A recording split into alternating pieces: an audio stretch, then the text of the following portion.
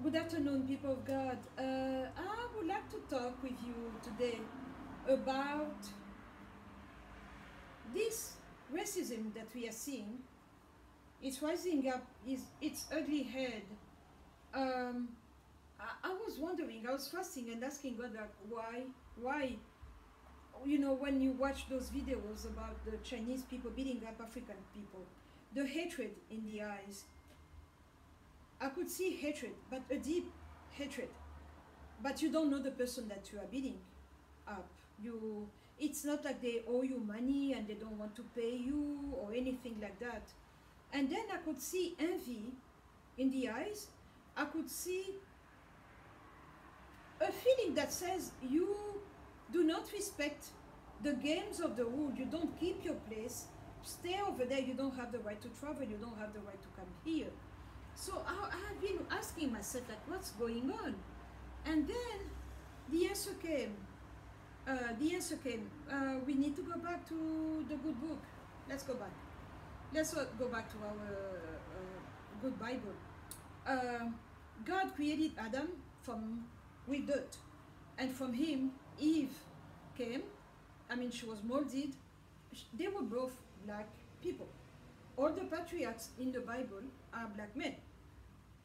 I believe that Noah was an albino, but his father Lamech and his mom were black people.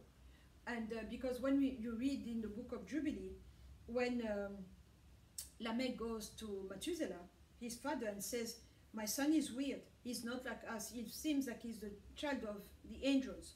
So that means that the angels were lighter. They were lighter. They were not black like uh, Lamech was.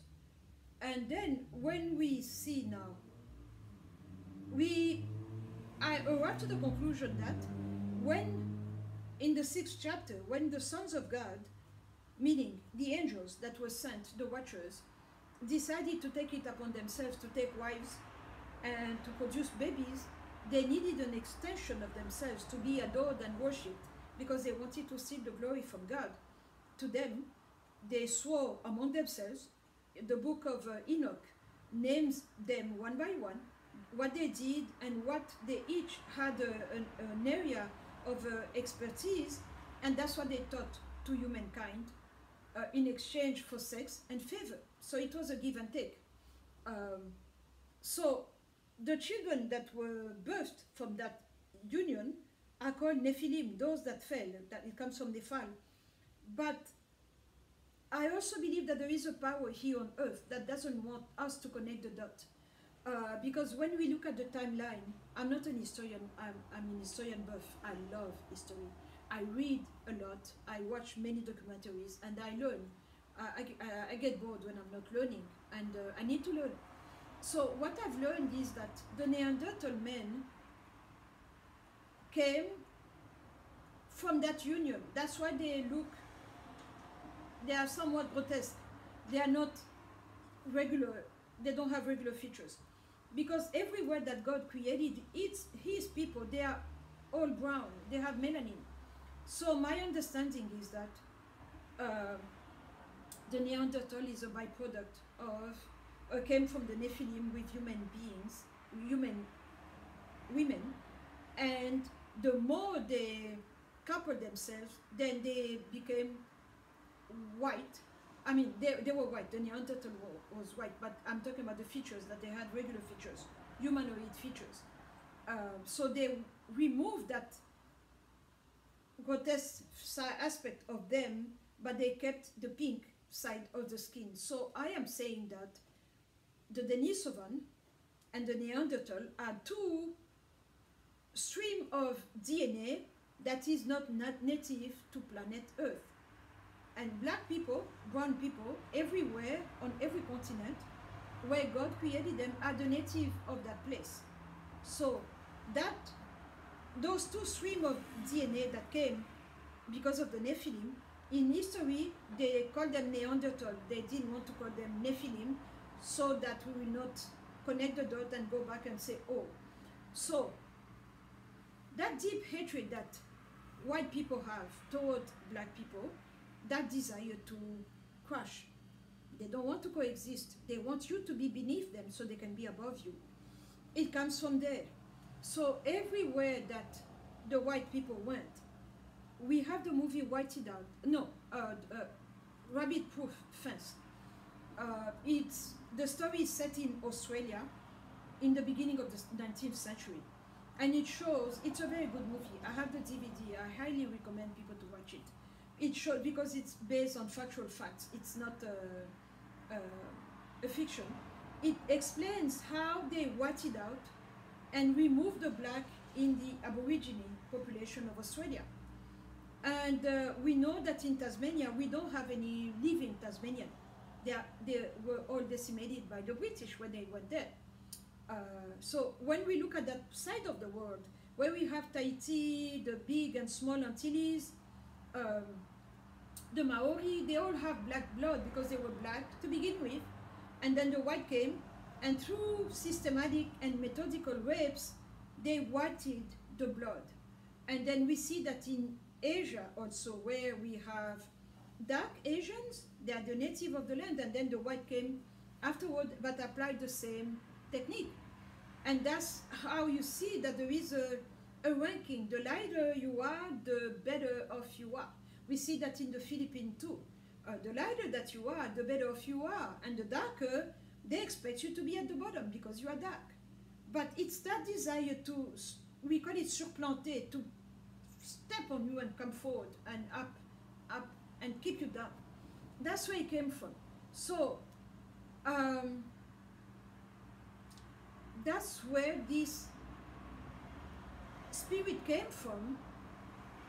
We need to bring the black people down. We need to step on them.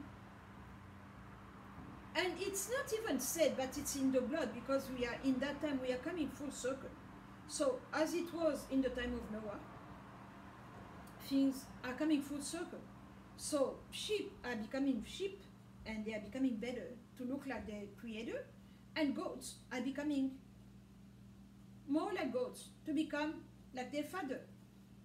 And that's so feelings will come up. You don't know where it's coming from, but I have an urge to beat you up because you are black. Uh, I have a urge, urge to hurt you because you don't look like me. Your hair are not straight. Why can't you be like this? Why can't you be like that? But that's where it's coming from. I have many friends uh, that are in mixed relationships. It's not for me. It's not for me. But I respect the right.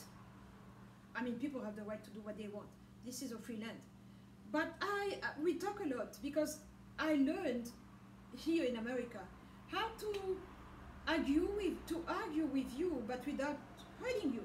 So you can have your opinion. I have my opinion, but because we have freedom of speech, you have the right to say what you want, and I have the right to say what I want. I learned that here. Uh, so we can disagree and still remain, uh, have a polite relation. Uh, and I like that because that's how you can solve issues.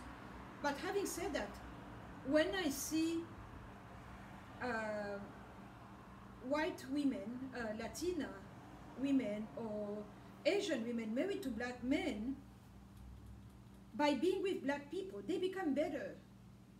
They are not as uptight as the other counterpart, I mean, their sisters are.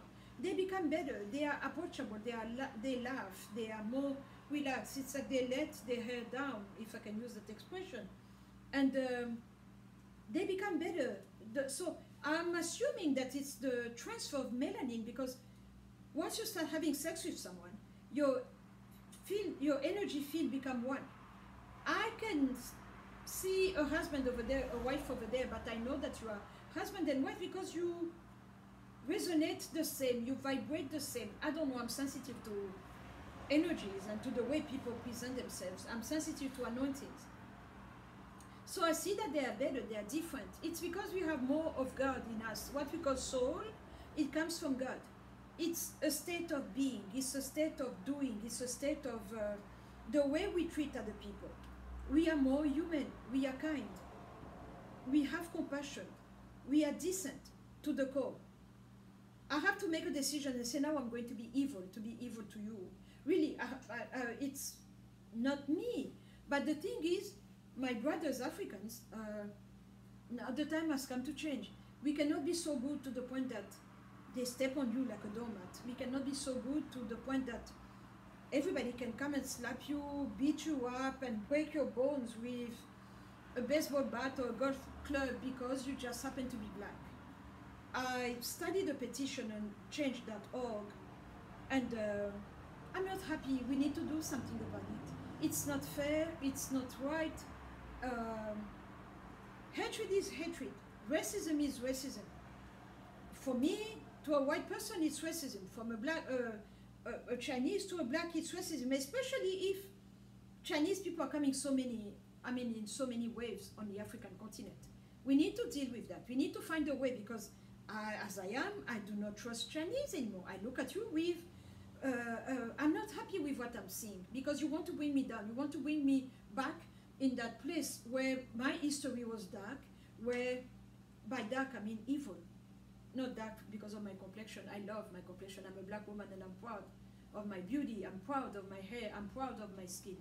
Uh, God made me. This is what He had in mind when He said, Let us create men in our image and likeness. So when He molded Eve, she was a black woman with all that implies. So that means that I'm beautiful. This is the vision of womanhood that God had. And it changes everything. The way i carry myself the way i talk to people the way uh, i'm sad so i'm not dating anymore and i do not date. Uh, i don't have a man in my life. But i'm so secure i'm so beautiful i'm so self-centered. And that's what i want to pass on to every black person uh, especially the younger ones they need to work differently they need to carry themselves differently we are bringing so much to the table of nations. We are bringing so much, uh, you know, and um, I do not accept. I cannot accept. There is no way that I will accept this treatment. I am going back to French, excuse me. Um, I'm losing my English. But that's what I wanted to share with you. So this racism comes from Genesis 6. We have different bloodlines. We need to investigate that. We have different bloodlines and that's why he comes from one bloodline once that is not legal here on earth, but he's here. They are numerous, they are here. But they don't want to live in peace. They want to take over. That's all. That's what happens. This is the explanation that I had. And that's why Africa, when we look at those animals, when we see, for, uh, studying from Katanga, where I'm from, go all the way to Kenya, Tanzania, South Africa, Namibia, all those countries, uh, we see the, the, those animals. There's such a thing called residual memory. They were created there. They were created there. They are home. They are home. So they, they migrate. They have a path that they follow, but they are home. And then that's the, the other explanation of the reason why we have so many minerals on Africa. Grace, the grace, that grace the blessing, when he first spoke and said, Let us make men in our image and likeness, happened there. That's why we have so many riches in the land. The land is blessed. The people are blessed. And we messed up ourselves, but that's a whole other topic for another day. Uh, I already touched on that in, um, I forgot the title of the, the video, but I have. So we are blessed. So let's go back to our Maker to receive our updates. Because with his updates come our freedom, with his update comes our deliverance, with his update comes our, we will lift up our chains and we are going to work as we should be. We own the continent. He gave it to us. He gave it to us. So, that's what I wanted to share with you. And that's what I had it mind. Thank you very much. God bless you.